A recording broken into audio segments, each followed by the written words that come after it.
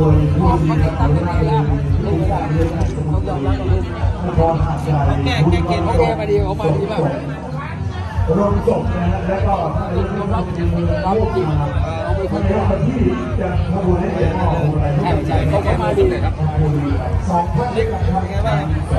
เขามาดีมากวันนี้ถ้าเราไม่ให้เจ็บแล้วยึดอัดไปหมดเลยครับเล็ก ก็เสียดายครับแต่ว่า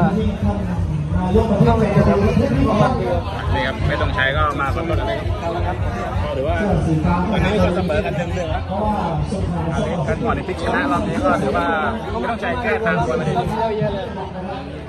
เอาครับทำให้สำเร็จอยากฝากถึงใครบ้างอะเล็กก็ขอโทษแม่แล้วก็นายสมจิตแล้วผม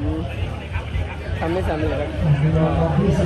ครับเดี๋ยวกลับค่ายไปแก้แก้ใหม่เลย กลับมาซ้อมใหม่ครับเป็นกำลังใจให้ครับครับแล้วนั่นเดี๋ยวการพวกอุ้นนะครับ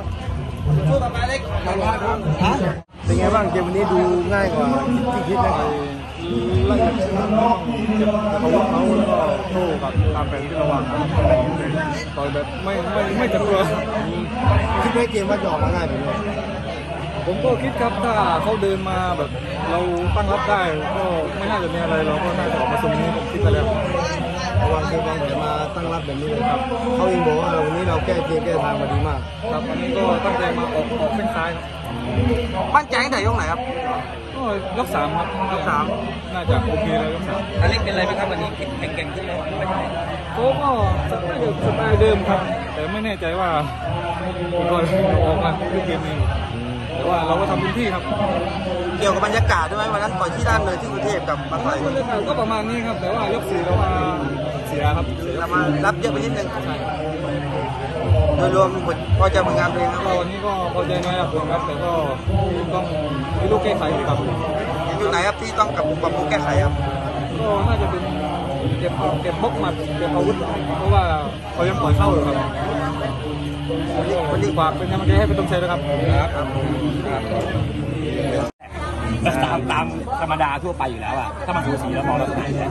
แล้วแล้วเพชรตรงชัยอะครับไม่ต้องใช้ครับถูกกินตั้งแต่ยุคแรกยุคสุดท้ายอันนั้นขาดเลยครับอันนั้นขาดเลยค่อนข้างขาดเลยต้องใช้แต่ส่วนพอใจไหมครับเพชรตรงชัยวันนี้พอใจครับเพราะว่าจริงๆแล้วต่อยครั้งแรกก็ต่อยอเล็กเนี่ยเขาปิดฟอร์มไปเพราะเนื่องจากเขาเออเพิ่งศึกมา แล้วเวลาที่ซ้อมมันน้อยครับมันก็เลยอย่างอื่นยังยังยังยังช้าอยู่แต่วันเนี้ยโอเคเขาเขาทำได้เต็มที่ปล่อยมวยละเอียดขึ้นนะครับแล้วก็เดินสู้ได้อย่างเต็มที่ตามตามที่เขาต้องต้องเป็นจริงๆอันนี้ก็พอใจครับแล้วฝากเชียร์ทีมเอ็มยิมหน่อยครับพี่ทาดำแค่ฝากเชียร์นะครับขอให้ทุกท่านฝากเชียร์ TVM ยิมนะครับเป็นค่ายแอบไม่ใช่น้องใหม่แล้วใช่